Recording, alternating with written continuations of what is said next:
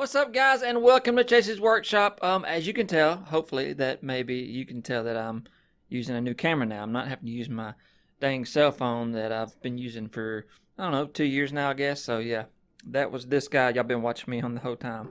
Um, so hopefully now I've got a good camera. Maybe you, everything looks better. Uh, whatever. What I want to talk about in this video is is I'm working on a design for a humbucker pickup. If you know, most humbucker pickups are designed to where you have lugs on one side, um, screws on the other side, and then you have the magnet on the bottom underneath it. Well, with this pickup, what I want to do is I want to do Alnico three or fives. I hadn't decided which one I want to use, yet. I might use two, so I don't know. I haven't really decided yet. Um, but I want to take those magnets and build them basically just like a single coil pickup and then sandwich them the two together and build a humbucker out of it. And hopefully it'll sound all right. That's that's the main goal is for it to sound good. Now the problems I'm going to have with this, I'll, I'll describe, show you here in just a minute of um, the height of my pickups because a normal single coil is a lot thicker than a humbucker because on a humbucker you're not putting as many windings on each bobbin.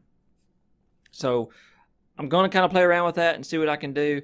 Um, I don't know if how that will affect the sound. I don't know if there's you know the height if they design it that way for a reason or not. But um, I guess we'll find out. So if you look at the screen, what I've got going on here, this is actually the um, base plate to the pickup. And these little holes right here, I haven't put the I haven't put them in there yet, but it's in the sketch on Fusion.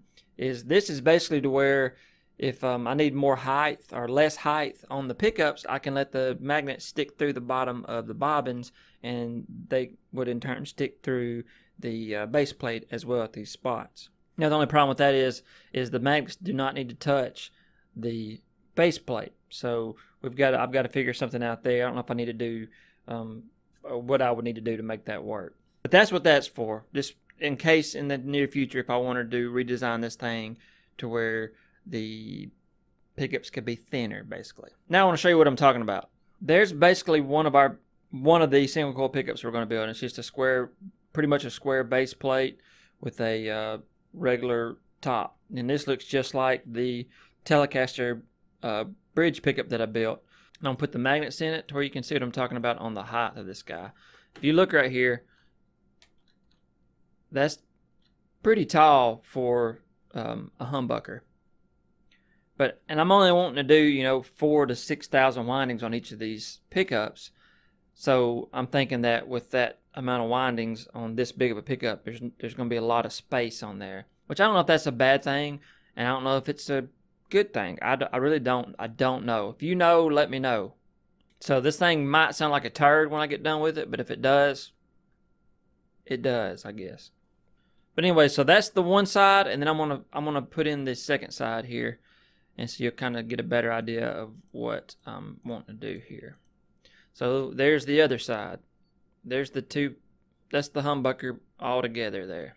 Now when I build this guy, the one side's going to be north polarity, one side's going to be south polarity, and then I'm going to do an opposite winding on both. So I'll do a counterclockwise on one and a counterclockwise on the other. Did I say that right? I'll do a clockwise on one and a counterclockwise on the other, to where uh, they'll uh, basically what a humbucker is. It'll uh, buck the hum. Now, the other thing I want to do to this guy is I'm wanting to be able to make it to where I can switch it between a humbucker and two single coils, where I could come in there and if I flip it a little switch, it will be just a single coil, north polarity. If I flip another switch, it'll be a, a single coil south polarity, and if I go to the middle, it'll be a full humbucker. I'm basically wanting to make this thing as complicated as I can, being the first one I've ever done. So, uh, yeah, that's how that goes. And like I said, I'm gonna try to do about five, four to six thousand windings on each bobbin. So that give me anywhere from uh, eight thousand to twelve thousand windings on this humbucker. And I think that'd be cool too to make it to where you know if I do have a if I do six thousand, it's gonna make the pickup hotter. But um, when I go to a single coil, when I activate the single coil on it, I'm gonna have a pretty substantial. Uh, I mean, not not as hot as maybe one of the ones I did 8,000 windings on, but it'll be on up there to where it maybe can make some good noise, I guess.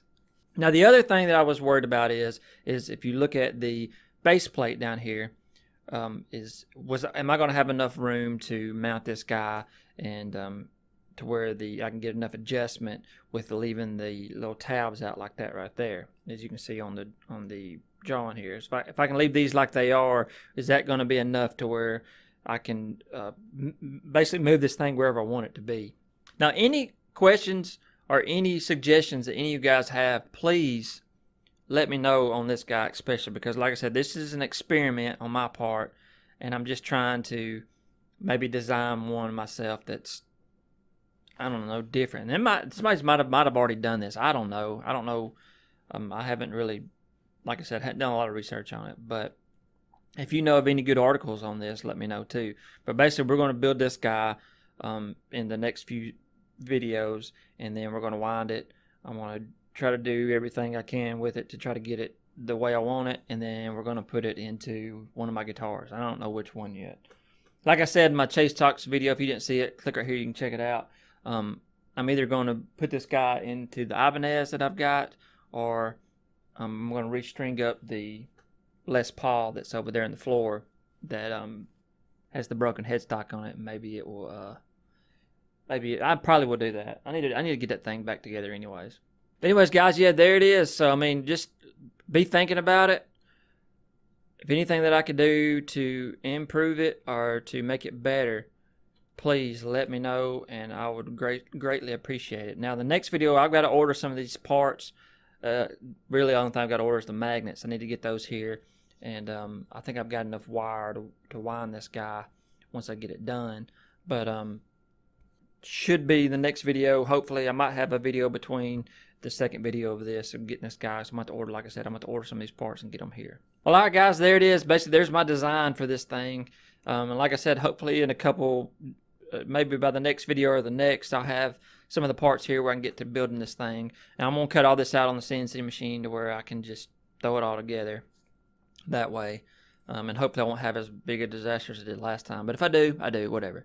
But anyways, guys, hope you enjoyed it. Thanks for watching.